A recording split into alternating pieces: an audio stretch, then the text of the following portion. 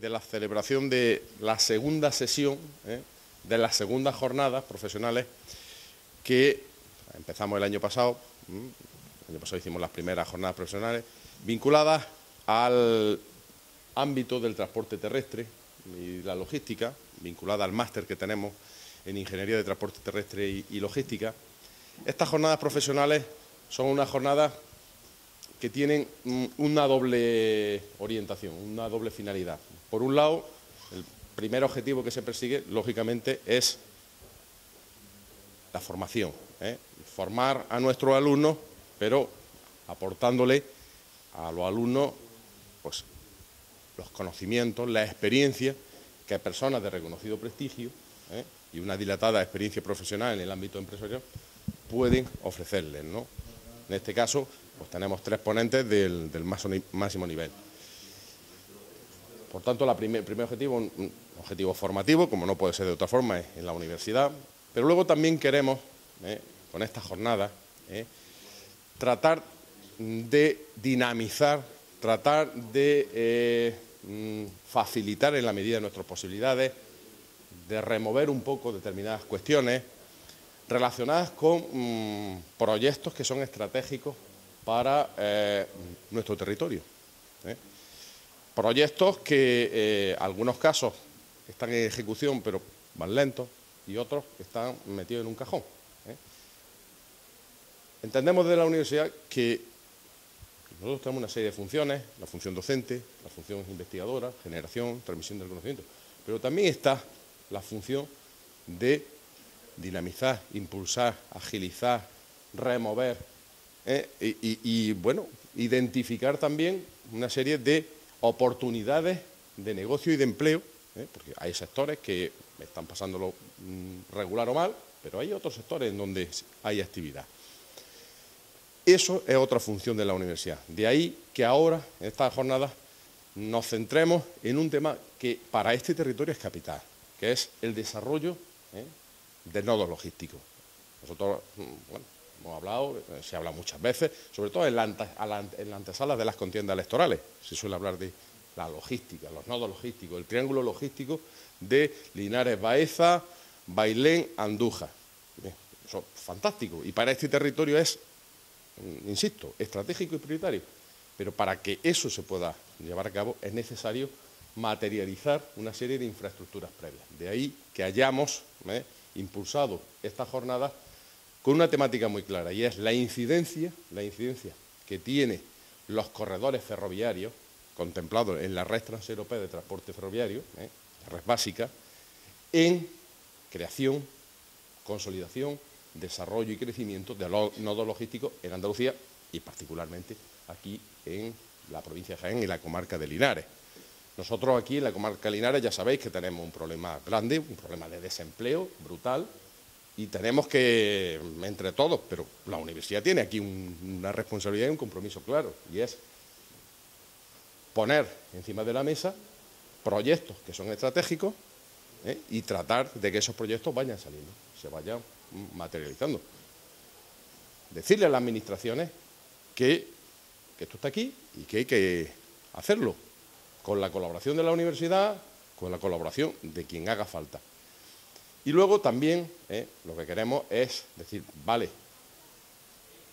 tenemos que el tejido industrial se ha venido menos, pero hay oportunidades, hay oportunidades en otro ámbito, hay grandes oportunidades para este territorio en el ámbito del transporte, en el ámbito de la, logística, tema sobre el que versa esta jornada también en el ámbito de la gestión, explotación, mantenimiento y conservación de infraestructuras viarias y ferroviarias, que será objeto de la tercera sesión, que la celebraremos probablemente final de marzo, principio de abril, componentes también del máximo nivel, ya lo veréis. Es difícil que se puedan generar nuevas infraestructuras, ¿por qué? Porque faltan inversiones, pero tenemos unas inversiones que hay que mantener, que hay que explotar, que hay que gestionar, que hay que preservar. Ahí hay una oportunidad de empleo muy, muy importante para nuestro titulado y para eh, la sociedad en general. Y la última sesión que haremos vinculada a esta, jornada será probablemente en el mes de abril, final de abril, va en relación a otro tema de mucha importancia, que está relacionado con las tecnologías y la información, y es todo relacionado con la consultoría SAP, consultoría de servicios, aplicaciones y productos. Ahí hay un nicho de oportunidad de empleo tremendo. Lo que se pierde por un lado se puede ganar por otro. Y traeremos una empresa para que nos hable de esa cuestión en concreto, de SAP, traeremos uno o dos ponentes de máximo nivel en ese tema, porque entendemos que hay ahí mucho, mucho que hacer, se está haciendo en otros sitios, pero también lo podemos hacer aquí. Tenemos aquí, en la universidad, informática, telecomunicación, tenemos titulados que pueden dar respuesta a esas necesidades en este territorio, que son además claves para el desarrollo de las empresas. Por tanto, esa es un poco la, idea que tenemos.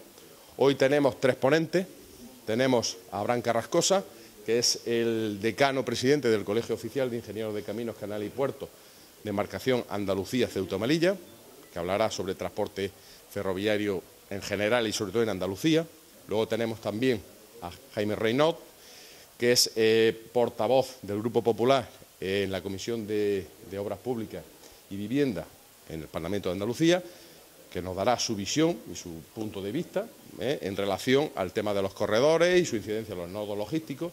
Y finalmente eh, hemos podido contar con la presencia de Manuel Morón, que es el actual eh, presidente de la, autoridad portuaria de la bahía de Algeciras, es un tema gordo, en donde pues, nos explicará bueno, un poco cómo está funcionando el nodo logístico doble que tienen allí en Algeciras, el de Mayer de tierra, y la importancia que tiene, no solo para Algeciras, sino para para nosotros el desarrollo del denominado corredor central, que ahora parece ser que ya se llama corredor mediterráneo, porque eh, se plantea como un corredor con, dos ramales. ¿no?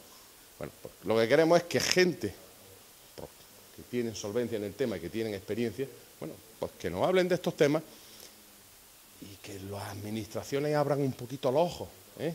que los ciudadanos también se den cuenta de que no podemos estar con los brazos cruzados, por lo menos desde la universidad no lo vamos a hacer.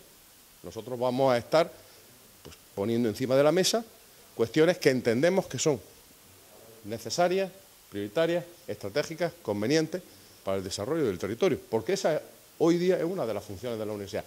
Y si no se hace en la universidad, ¿dónde se hace? ¿Quién lo hace? ¿Vale? Dar un poco en que mm, estas iniciativas en las que participa el Consejo Social son indudablemente como consecuencia de la misión que tiene el Consejo Social, que es colaborar con la universidad en absolutamente todo lo que pueda. Entonces, atendiendo a, ese mandato, digamos, pues por eso estamos aquí intentando colaborar con, el rector y su equipo de gobierno, con el director de centro, en traer a las personas más relevantes en el mundo de la infraestructura para que los alumnos de este máster se den cuenta y perciban mm, lo que es la realidad ¿eh? que les espera en un futuro muy próximo ya, porque son personas que están a punto de terminar su titulación, su máster. Y decirle que estas personas que traemos procuramos que no estén vinculadas normalmente con el mundo docente para que la transmisión de esta forma de pensar no sea eh, la clásica que ellos que tienen, la percepción que tienen los estudiantes, que son personas que se dedican a la docencia. Entonces estos son gente que viene del mundo de la empresa, del mundo de la industria, del mundo de la política, del mundo de consultoría. ¿eh? Y bueno, pues poco más me queda decir, yo creo que ya está dicho todo. desearle a los ponentes que tengan una buena participación y a todos los alumnos que lo aprovechen en la mayor medida de lo posible.